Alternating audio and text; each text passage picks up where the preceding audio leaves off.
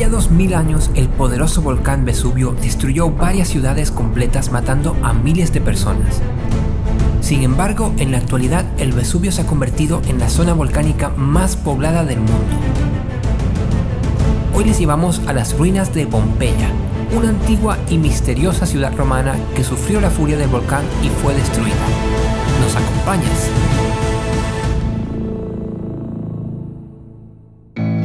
Empezamos nuestra aventura en la caótica Nápoles.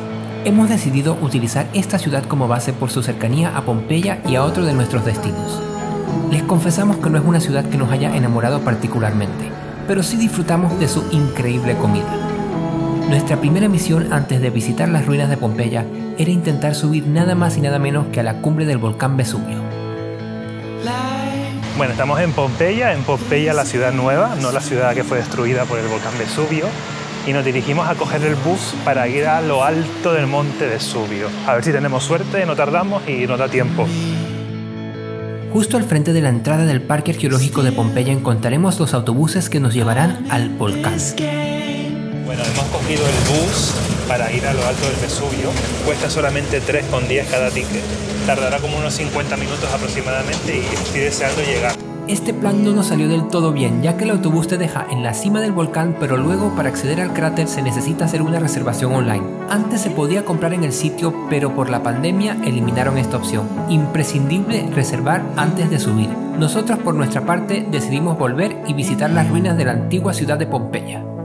Bueno, hemos llegado aquí a la antigua ciudad de Pompeya, vamos a comprar las entradas, pero antes de comprar las entradas hemos tenido que mostrar el Green Pass, que es el pasaporte COVID, y luego pasar por una sala de detector de mochilas, metales y demás. Visitar esta antigua ciudad era un sueño que teníamos muchas ganas de cumplir, y por fin estábamos ahí y no nos los podíamos ni creer. No se imaginan lo increíble que fue tocar estos edificios tan llenos de historia.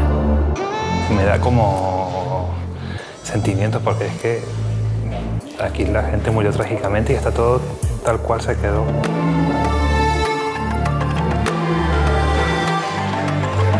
Una curiosidad es que este es el anfiteatro más antiguo conocido en la era romana y además cabían alrededor de 20.000 personas y otra cosa que aquí también se hacía el espectáculo de gladiadores a vida o muerte.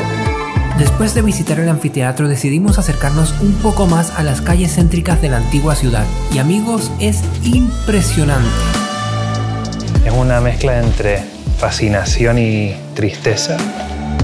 A nosotros nos resultó muy impactante ver que se habían conservado todas las calles y la mayoría de las estructuras. Y aquí se puede ver cómo eran algunas casitas por dentro. Se dice que en Pompeya vivían unas 16.000 personas, sin embargo en la actualidad solo se han encontrado poco más de 2.000 cuerpos, lo cual hace pensar que miles huyeron debido a los terremotos y pequeñas explosiones previas a la gran erupción. Los orígenes de esta ciudad no están del todo claros, pero se sabe que data de varios siglos antes de Cristo.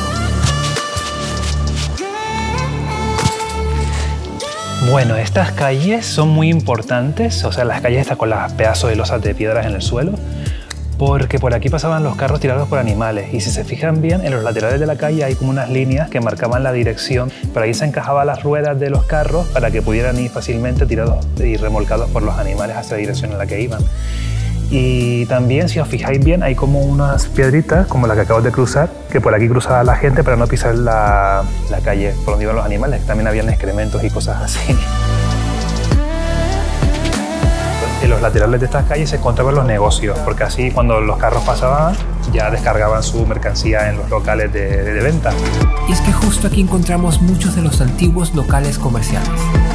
Miren, justamente aquí hay una taberna se puede observar la mesa como una especie de barra y allí como la cocina o con los surcos estos o los... Donde cocinaban, ¿no? No sé si es donde cocinaban o bien donde metían los alimentos, porque he leído varias cosas. Miren, es impresionante cómo aún esta pared conserva este mural colorido. Pero no es el único. En la ciudad verás que hay muchos murales que se han conservado en el tiempo. Esta calle también, parece que es la calle principal, por donde pasaban todos los carros y todos estos temas, como ya les he comentado. Había en cada ciertos metros una fuente para beber agua. O sea, hay una aquí, una un poquito más allá, luego veo otra un poquito más allá y del otro lado igual. O sea, no sé si era para la gente o para los animales. Yo creo igual para los dos. Para los dos. Bueno, y aparte de todos los comercios, algo que nos impresionó muchísimo fue ver cómo eran las casas de la época. Y aquí hay una casita, bueno, casota más bien, que se llama Casa de Itrevio de Valente. Y bueno, ya lo podéis ver, o sea, esto es una mansión de la época, porque miren los murales, el tamaño del local. Que se haya conservado la estructura ya es impresionante, pero es que además miren los pequeños detalles decorativos que han sobrevivido durante siglos y siglos y siglos. Me parece increíble que estoy entrando a una casa o un comercio, porque la verdad no sé si esto era un comercio o una casa, pero el hecho es que estoy en una estructura que estaba habitada o estaba en uso hace ya casi 2000 años.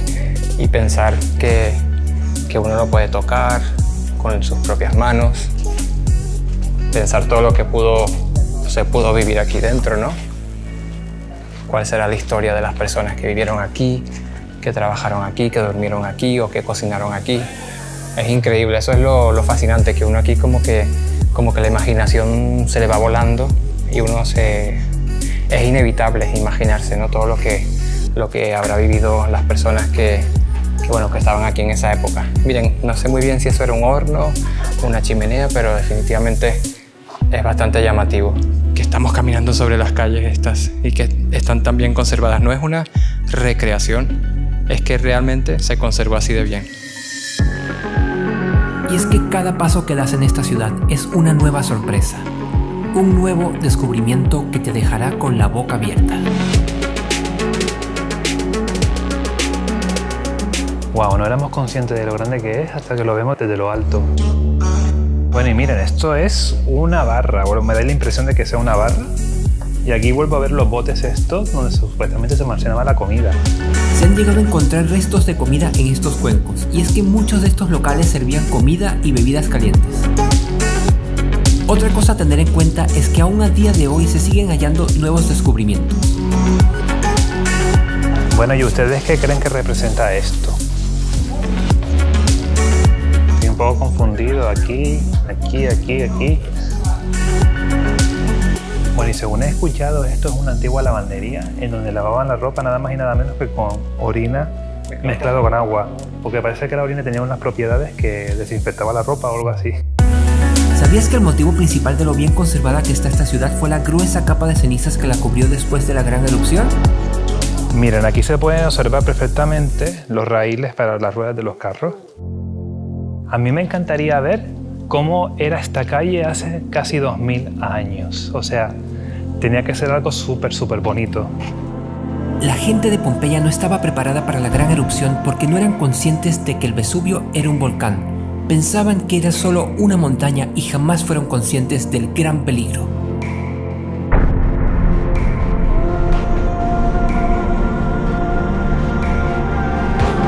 Todo ocurrió un 24 de agosto del año 79 cuando fueron sorprendidos por la catastrófica erupción, matando a miles de personas y sepultando a la gran ciudad bajo cenizas y piedras expulsadas por el volcán. Este centauro es la pieza central de la Plaza del Foro, que era el corazón de la vida social. Aquí encontraremos templos y otros edificios importantes, pero lo más impactante a día de hoy quizás sean los moldes de yeso de las víctimas del Vesubio.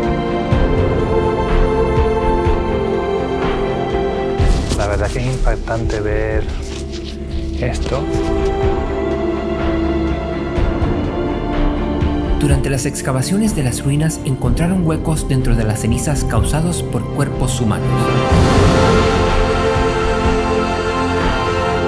Años después rellenaron los huecos con yeso descubriendo los últimos momentos de las víctimas del volcán. Venir a Pompeya es una visita imprescindible si vienes a Italia. Tal y como ha dicho Sergio, es una mezcla entre fascinación y tristeza. Eso sí, queremos terminar esta aventura dándoles unos consejos muy útiles para su próxima visita. El primero, vengan temprano porque se os puede hacer muy corto el tiempo si venís ya pasado el mediodía, como nos ha pasado a nosotros. Zapatitos cómodos deportivos. Tráiganse una botellita de agua porque la vais a necesitar porque tenéis que caminar mucho y tenéis fuente para rellenar, así que no hay problema de, de Corbella y se queda sin agua. Para venir aquí, si estáis en Nápoles, tenéis que coger el tren de Nápoles Central hasta Salerno y bajarse a la estación de Pompeya.